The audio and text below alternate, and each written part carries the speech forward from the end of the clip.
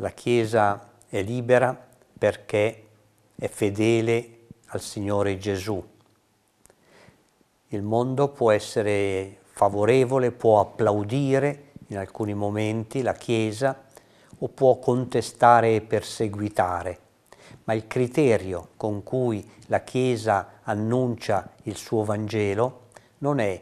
il successo o la popolarità, ma la fedeltà e dunque questa appartenenza al mistero di Dio e questa docilità allo Spirito che ci rende liberi di dire la verità buona che Gesù ha annunciato.